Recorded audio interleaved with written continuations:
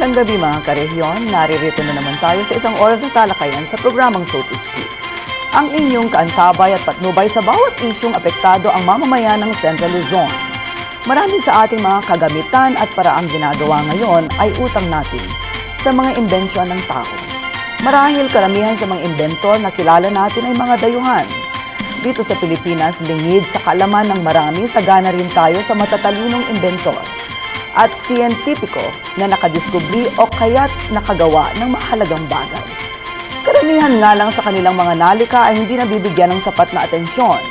Kaya ang mga tao ay halos walang alam sa kanilang mga natatanging imbensyon. Bakit nga ba ganitong nangyayari sa ating mga kababayang inventor? Anong ginagawa ng gobyerno upang matulungan sila sa kanilang pananaliksik? Jaime Esteban, isang inventor mula sa lalawigan ng Nueva Ecija. Welcome po sa programang So to Speak. Ano po ba yung profile ng isang Filipino in- in- inventor in so far as uh, you are concerned? Uh, sir, ano po yung typical na Filipino inventor?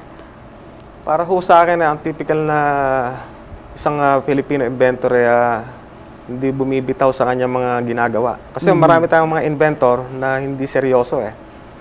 So, yan ho ang aking kun eh. ah, masasabi na sana sa mga inventor, dapat eh maging seryoso sila at idiin pa yung kanilang mga ginagawa, bigyan ng ah, matinding ah, ah, tawag dito, pagsisikap at pagtsatsaga.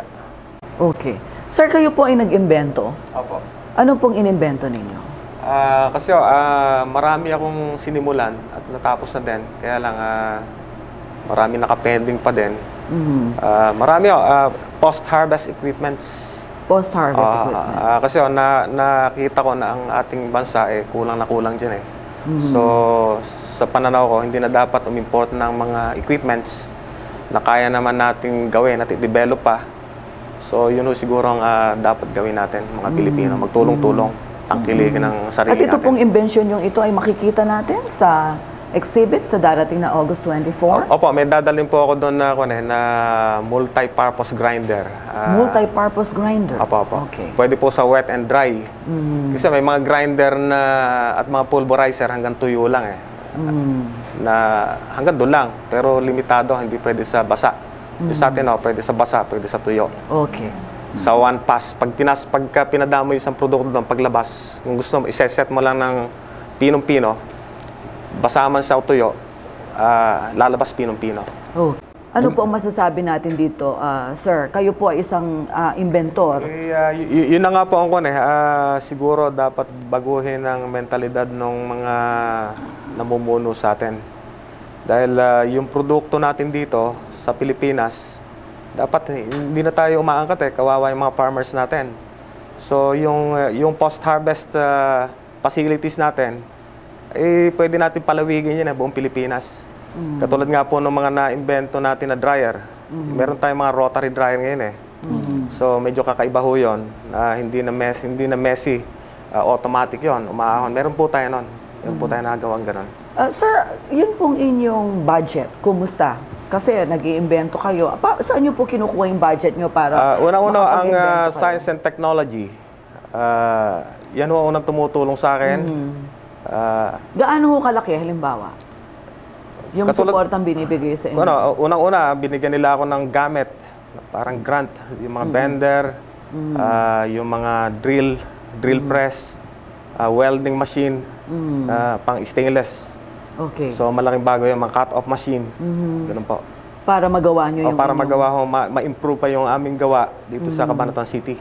Okay. So, yun ang magandang naitulong sa amin ng uh, science Meron na po ba kayo napa, napapatent sa inyo pong mga Meron po. invention? Ah, meron po. Meron na nga po. ano po isa- yung napapatent ninyo? itong ah, multi-purpose dryer. Multi-purpose Ah, dryer, napapatent po ninyo sa pangalan po ninyo? Opo, nas- nasa akin po yun. Ano po yung mga hakbang para po ang isa pong, kasi marami pong mga Pinoy Ah. na nanonood nga na, sa atin ngayon sa. Region 3 na hindi alam kung sila may invention, paano ba ito napapapatent upang hindi maagaw ng iba? Kasi alam ko po, ah. sir, ano, correct me if I'm wrong, ang daming mga Pinoy, sila yung nag-imbento, pero sa kahulihan, Sila, sila yung... Iba nagparehistro. iba ang nagparehistro at iba ang nakinabang sa Totoo kanilang yan. pinaghirapan. Paano po kayo nagpa-patent? Siguro ganito ang dapat gawin ano. A- ako yung nagpapatent to dahil sa sarili kong proteksyon Yes. Na, nadidinig ko na po yung sinabi niyo na yan nung araw eh. Mhm. Na yung iba yung nagmamatsyag lang, tinitingnan, uy, ano ba yan, ganyan. Mhm. Then uh, yung pala, may magagaling eh. Yung na. isang tingin lang, alam na nila eh. Mhm. So, nauna na sa patent office. So, kung kayo yung mga, may mga magandang nalikha Mhm. na mga invention, so papatent nila. Okay. Bago ano po nila yung, i- pa- sino bago po nila- nakakaalam po nung hakbang para sa pagpapapatent? Itong IPO, punta sila sa IPO, then ipatent nila. Gaano po katagal? Gaano karaming me- papeles? Medyo, ang- kan eh, kasi may mga na-patent ho ako doon eh, matagal na eh. Marami akong nakapending. ah, marami So, inaabot ng limang Ma'am, taon. meron tayong- Normally, ilang taon bago mapatent? Meron Mga, tayong meron limang taon, meron dalawang Limang taon bago mapapapatent. Actually, meron pa ho akong limang taon doon eh. Meron ah, yata may pitong limang taon taon pa kayo eh. nakapending. Nakapending, So, marami parang sampung taon na yan. Eh, yun ho ang kwan, lumalabas. Ah, Mr. Esteban, nabanggit niyo po kanina yung sa, sa umpisa ng ating programa, yung sinasabi niyo, yung isang Filipino inventor, hindi siya basta sumusuko, hindi siya basta bumi- ah, bumibigay, talagang tuloy-tuloy lang siya sa pagtatrabaho Ah. para makamit niya yung tagumpay na inaasam niya.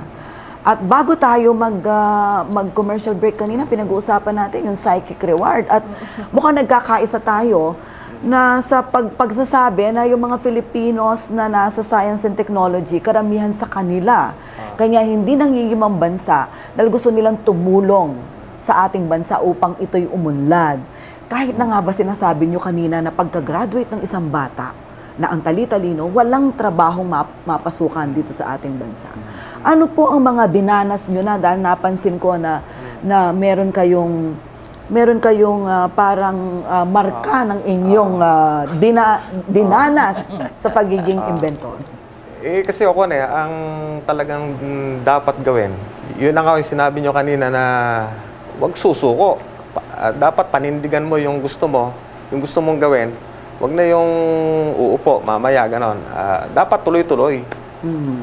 At ah, dapat meron tayong tinatawag na pananaw eh.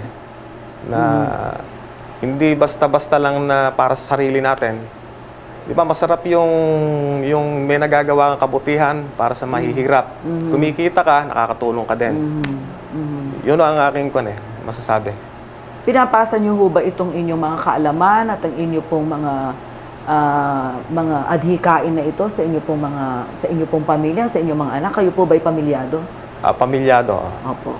So meron po kayong mga anak na interesado rin sa ganitong klaseng Eh, ah, ah, ku- pag-iimbento. kasi ang nangyayari, eh, iba, iba, iba ho kasi yung field ng kanilang kun eh. Ah, iba naman ang oo. field nila. Oo. Ah, kaya... ano po ba yung inimbento niyo kanya na naputol yung isa niyong daliri? Ako na, naipit ito sa sobrang ah, pagpupunyagi na mayari ko yung isang machine na halos hindi na ako natutulog eh. Ah, Ah, so, Ganun sa sobrang pagod, puyat, ah, medyo mm, nadupilas ako. Dahil inatok na ako eh. mhm. Buti nga ako, hindi lahat eh. Oh, Ah, yun ang inabot buti, ko. isa lang. Oh, isa lang. ko sa... hindi, hindi. Yun lang ang masasabi ko talaga. Dapat eh, kuhan, maging seryoso. Mm-mm. Ah, yun ang nakita ko eh. Huwag mong lulubayan hanggat ah, hindi mo nabubuo yung gusto mo na mabuo. Pero marami akong nabasa mga aklat, no, ng mga ilang mga pamosong mga tao na yun nga daw eh, yun nga daw ang ganun daw ang common na karanasan ng mga taong gustong may maimbento Ah. na mag-contribute sa ah, pag-unlad ng isang bansa o ng ng daigdig. Ah, tama. Yung sa pag-iimbento nila, kahit na sa pagsusulat nila, eh talagang sila mismo nagugutom. At napapabayaan nilang kanilang sarili at ang kanilang ano, ang kanilang Ta- ang kanilang pamilya. Tama po yun. Ah, ako eh, naranasan ko, nakakalimutan ko kumain eh. Oh. Oo, totoo yun. Nagagalit na yung... Parang kamukha din kayo ng mga nobelista, mga manunulat, hindi ba? Ganun daw eh. Mm, kuminsan na hindi na ako naliligo. Yung balbas ko sa umahaba. Talagang humahaba na yung bigote niya, yung balbas. Oo, saka Kasi kuwan, parang 24 oras eh, hindi Oo, ganun ba? o. Ah, Hindi naman ako Parang gan- mga musicians din, yung mga composers, ganun eh. Hindi na talaga. Di ba? Hanggat hindi natatapos, hindi talaga tumitigil. Ah, pe- pero ang maganda ho doon, pagka yun ay nangyari mo, ah, na, na perfect mo halos, ano? Sa bagay, wala naman perfect, ano? Pero na- nagawa mo yung gusto mong gawin, napakasarap eh. Tagumpay. Ah, tagumpay. Hindi para sa sarili. Pakiramdam mo. Oh, hindi para sa sarili ng mga ng mga ginawa ko. Para uy, pakikinabangan ng mga tao to. Eh, ang ating pong bayani ngayong gabing ito, Ginong Jaime Esteban. ang inyo pong ah, mensahe sa ating pong mga televiewers. Ang, ang, ang aking lang pong mensahe, i-suportahan natin yung science and technology na yan ang isa sa mga susi sa tagumpay ng Pilipinas. At ah, wala na akong iba siguro eh. Sa akin, yun lang. Maraming Ah, ma- ma- salamat. ma- kumbaga sa- siya lang ang po eh. Siya magbubukas ito para kwan. Umunlad tayo. Umulad tayo para maikuha niya sa sangay ng lahat ng gobyerno. Okay, maraming salamat po, Ginong Esteban, at good luck po sa inyo. Mabuhay po kayo. Opo. At RD, yun po Ah, inyong mensahe sa Ako ating po eh tuwan-tuwa dahil ah, ang aming inventor eh talaga hindi maalis sa isip niya yung DOST. Mm. Yung nagawa namin tulong sa kanya. At hindi lang ho siya, marami kaming natulungan at marami pa kaming tutulungan.